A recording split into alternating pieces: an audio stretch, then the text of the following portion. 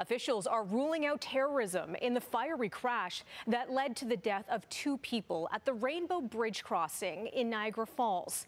Faiza Amin is on the Canadian side of the bridge. Faiza, what are you learning?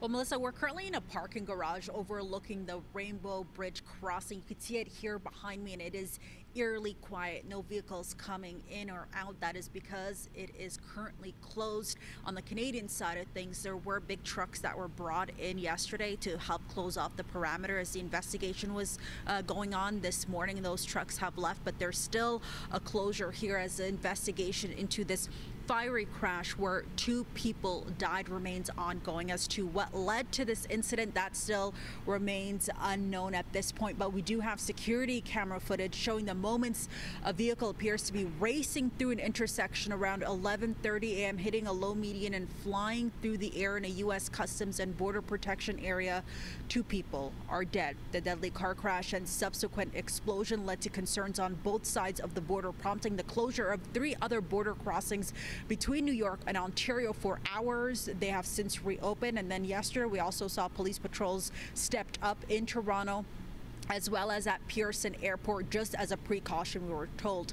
And then uh, last night, the FBI saying it concluded the investigation, ruling out terrorism and saying no explosive devices were found at the scene. The, Ni the Niagara Falls police now taking over investigating the circumstances that led to the incident. They say there is no known threat on the Canadian side of the Niagara border. The identities of the two deceased have not been released. Reports say it was a husband and wife, and the male driver reportedly a resident of Western New York, a border patrol worker worker who was protected from the crash by a booth received minor injuries and has since been released from hospitals. We continue to speak with witnesses. Here's what one had to say. My car is right on the side. Oh my goodness, it's spreading. This probably a sedan uh, was in flames so quick, and the smoke was so thick. It looked like it was sideways or upside down. The, the trunk had blown off. There was uh, debris everywhere. Um, so it just it, it looked really terrible. And all this happening on the busiest travel day in the U.S. It is American Thanksgiving, and the governor of New York also noting that this is the busiest U.S. Canada border crossing. We spoke with the mayor of Niagara Falls. Here's what he had to say well, it could have been catastrophic. I mean, our four border crossings, we get 10 million vehicles a year. Niagara Falls is the number one leisure destination in Canada. We get 14 million visitors.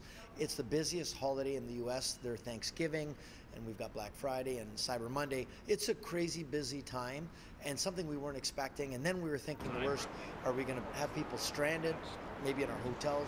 And I've spent time also walking around speaking to locals here, and they do know that it is eerily quiet on this day and going into the weekend. It is Black Friday tomorrow, and so there are Canadians who use this bridge to head into the U.S. looking for those sales. According to U.S. officials, about 6,000 vehicles across the Rainbow Bridge crossing daily. Melissa. Yeah, it is strange to see it so quiet there. Thanks for that, Faiza. An update from Faiza Amin in Niagara Falls.